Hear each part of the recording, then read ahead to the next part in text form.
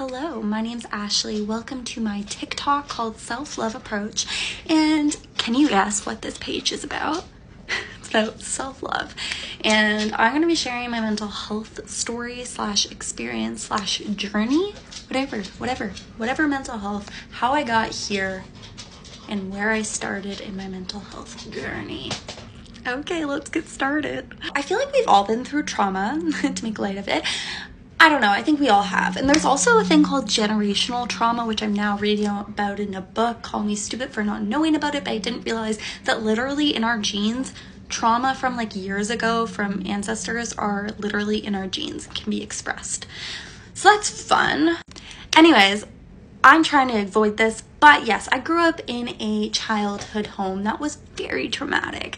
And the first time I ever realized like something was a bit different, something up was up, was when I was about seven years old, seven years old, and I started to feel very stressed all the time. That was the word to describe it was stressed.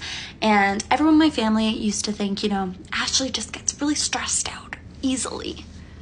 I struggled in school like I got by. I could be seen as average. I got by, but I was struggling. Like I could not retain information. Like my mind was always just overwhelmed by emotions and by stress. And I just did not thrive in school like uh, other people that got like straight A's and like just had a breeze in school.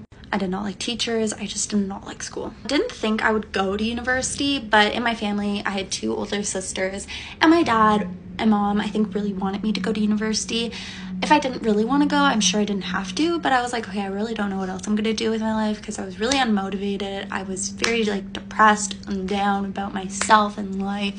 And so by the time I got to high school, end of high school, I was like, okay, I just applied to a bunch of universities and colleges.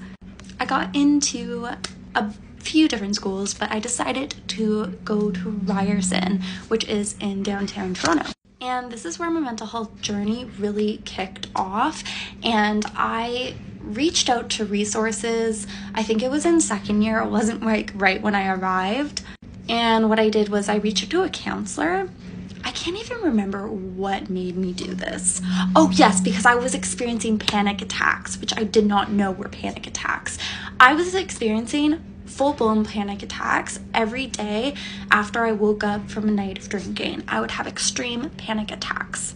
So I reached out to a counselor and to uh, the doctor to get a mental health assessment, which I found out I had an anxiety and panic disorder.